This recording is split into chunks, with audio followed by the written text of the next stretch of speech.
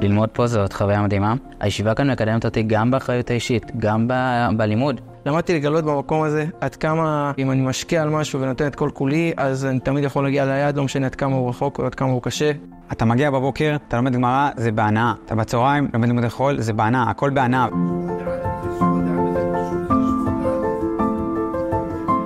הישיבה היא תחת הנהגתו של הרב לייבל, שמכוון אותנו ומאציל מרוחו על כל מה שקורה פה בישיבה, ובעיקר, בעיקר נותן פה רוח של תשוקה וחיבור ללימוד, השיעורים שלו.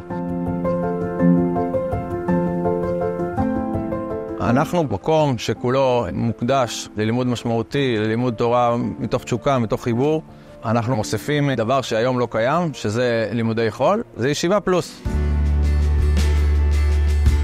בשנה ראשונה הוא יקבל מכינה קדם אקדמית, שבה הוא ישלים פערים במתמטיקה ואנגלית. אחרי שמסיימים את המכינה, אנחנו מתקדמים לשלב הבא, שהוא בעצם לימודים בשיתוף האוניברסיטה הפתוחה. האוניברסיטה משקיעה בנו באופן מיוחד, המרצים מגיעים לישיבה.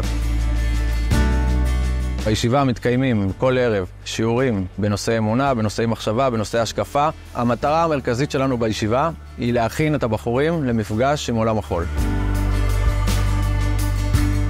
המקום הזה ממש עוזר לי לשמור על הערכים החרדים שלי, גם כשאני נחשף לעולם המעשה. המקום הזה נתן לי כלים, מה שאני לא חושב שבשום מקום אחר אה, הייתי יכול לקבל. אני חושב שהישיבה כאן נתנה לי דחיפה. זה משהו שתמיד רציתי, אבל פשוט לא חושב שהייתי מצליח להתמיד בו ולעשות אותו.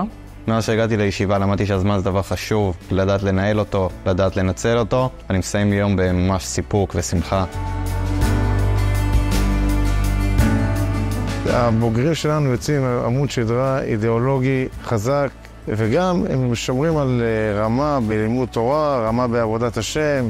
אנחנו מחנכים לקחת אחריות על החיים האישיים, על החיים הדתיים, על החיים המקצועיים. המטרה שלנו שהלימודי קודש יהיו כמה שיותר עמוסים ומלאים ומספקים. אנחנו ניתן לך את כל הכלים, את כל המעטפת, אבל תבוא עם התודעה שאתה רוצה לקחת את החיים שלך ברצינות ולקחת עליהם אחריות. אתה מרגיש גאווה בישיבה, אתה מרגיש שאתה עושה משהו כל היום, וזה פשוט יתרון גדול.